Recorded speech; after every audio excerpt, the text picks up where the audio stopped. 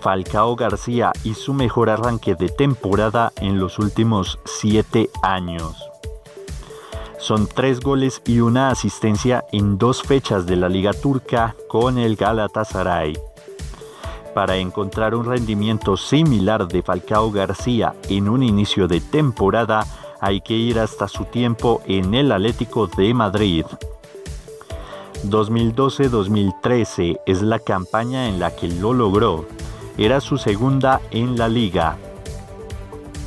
Y en aquel equipo dirigido por el Cholo Simeone, con compañeros como Thibaut Courtois, Diego Godín, Arda Turán y Cristian Rodríguez, el Tigre logró una tripleta en su segundo partido. Ese fue en un triunfo por 4-0 sobre el Athletic Bilbao.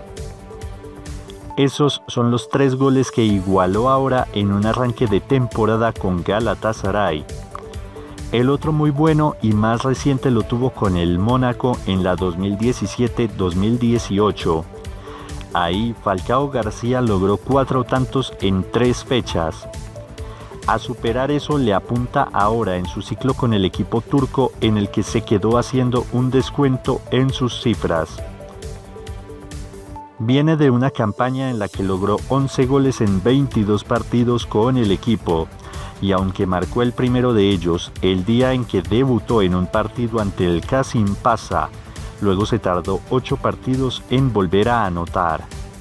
Ahora no es así, todo empezó diferente y con Galatasaray mostrando un par de triunfos en la liga gracias a sus goles.